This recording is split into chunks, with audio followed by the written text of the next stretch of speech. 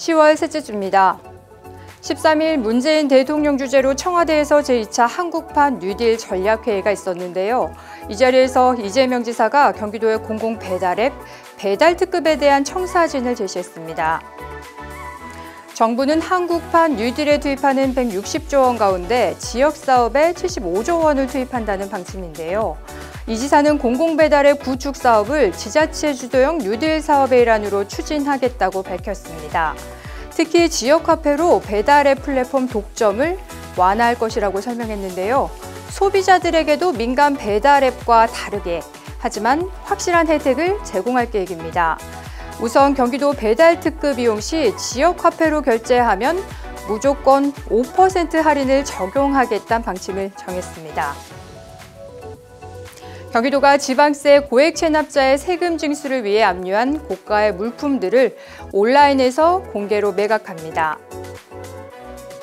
19일부터 21일까지 온라인 전자공매 사이트를 통해 입찰합니다.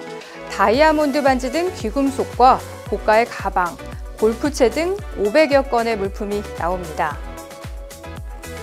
경기도가 내년부터 공중 화장실과 민간 화장실 천여 곳에 안심 비상벨과 불법 촬영 차단 시설을 설치하는 등 본격적인 여성 안심 화장실 환경 개선 사업을 추진합니다.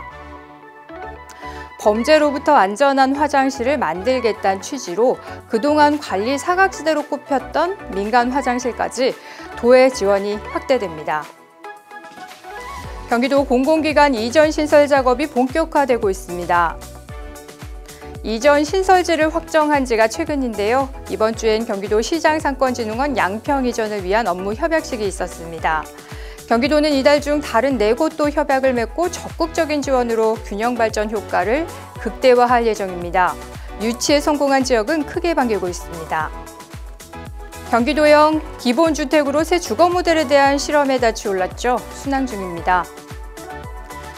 경기도 의회에서 경기주택도시공사의 역점 신규 사업들이 무난히 통과됐습니다.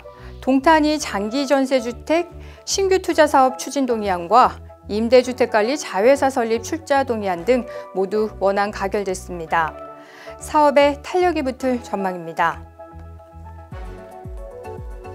제4회 판교 자율주행 모빌리티 쇼가 열려 눈길을 찼습니다. 경기도가 주최하고 킨텍스와 차세대 융합기술연구원이 공동 주관하는 행사로 15일 막을 열었는데요. 코로나19로 주목받고 있는 비대면 서비스에 기반한 자율주행 차량과 드론, 로봇 등 자율주행 모빌리티 제품들이 3일 동안 온라인 등을 통해 관람객들과 함께합니다. 다음 주에 뵙겠습니다.